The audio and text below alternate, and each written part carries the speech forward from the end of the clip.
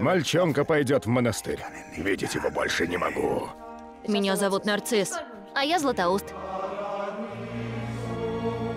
Эй, Нарцисс, у тебя есть лучший друг? Мы должны отдавать нашу любовь Богу. Тогда давай дружить втроем. Ты, я и Бог.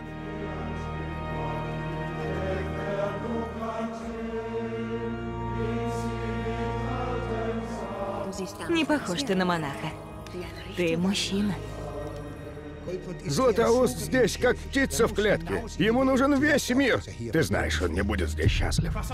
Что бы ты там ни видел, этому здесь не место! Может, и мне самому здесь не место? Мастер Никлаус, я видел вашу Мадонну в соборе. Я хочу учиться у вас. Бедность, послушание, целомудрие всю жизнь. Это мое призвание.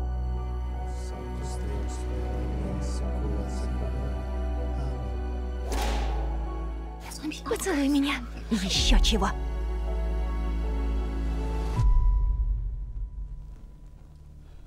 Златоуст, что с тобой произошло? Этого хватит на несколько жизней. Я видел много хорошего, много плохого.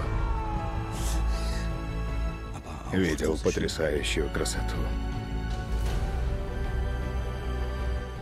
А я всю жизнь прятался за своими книгами.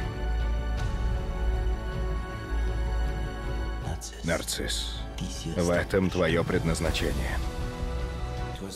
Ты всегда говорил, что мир нужно принимать таким, какой он есть, и не задавать вопросов.